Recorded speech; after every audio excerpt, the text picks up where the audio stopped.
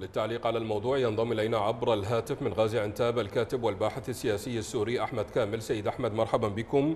يعني عندما تقول روسيا أن لدى الأمريكيين إمكانية واحدة للبقاء في سوريا هي التعاون مع موسكو ودمشق لعودة اللاجئين كيف نفهم اللعب بورقة اللاجئين؟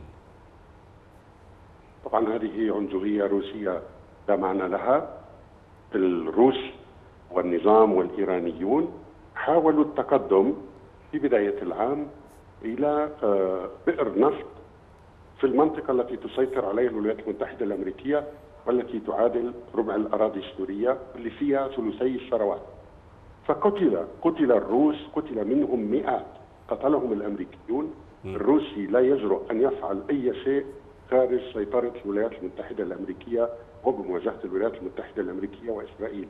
إسرائيل تقصف النظام كل يوم. الروسي يقول لك هذا النظام تحت حمايتي ولكن إسرائيل تقصفه وتقصف الإيرانيين كل يوم.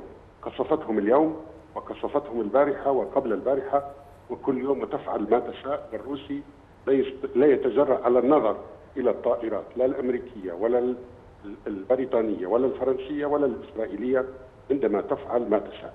فهذا كلام الروسي هو يمارس عنجهيته وهو دولة عظمى فقط على الضعفاء على اللاجئين وعلى المدارج وعلى المستشفيات. وهو سيد أحمد. تابع للولايات المتحدة. نعم يعني هل استطاع النظام برعاية روسية الآن أن يعيد تدوير نفسه دوليا رغما عن الولايات المتحدة؟ هل باتت أمريكا بغير أوراق في سوريا؟ أبدا عندها أوراق كثير ولكن هم أصلا ما عندهم مشكلة في إعادة الشرعية له ولكن هذا غير ممكن. طالما الشعب السوري لا يريده لا يمكن إعادة تدوير وإعادة الشرعية وإعادة تأهيل. سفاح قتل مليون مدني وشرد سبع ملايين هذا غير ممكن. الروسي لا يرى شعوبا لا يرى الشعب الروسي ولا يرى الشعوب المحيطة به ولا يرى الشعب السوري. ولكننا موجودون رغما عنه وسوف نريه أننا موجودون رغما عنه وسوف نقف في وجه سياسته لإعادة تأهيل هذا النظام وسوف ننجح. وسوف ننجح كما نجحنا طوال سبع سنوات في استنزاف استنزاف النظام واستنزاف إيران واستنزاف حزب الله واستنزاف الروسي عندما جاء إلى سوريا وما زال. نصف سوريا خارج سيطرة النظام. لم يسيطر النظام على غالبية الأراضي السورية ابدا. نصف سوريا خارج سيطرته وثلثي أكثر من ثلثي موارد سوريا من النفط والغاز والماء كلها خارج سيطره النظام هل هل نحن أمام الأميال الأخيرة لتسوية سياسية للأزمة السورية بشروط روسية ترضي نظام الأسد؟ ابدا. ابدا. لن يستطيعوا فعل ذلك، الروسي يريدنا أن نعود عبيدا لنظام حكم نظام آل الأسد كما هو من دون أي تعديلات، ما في تسوية، التسوية تعني حل وسط.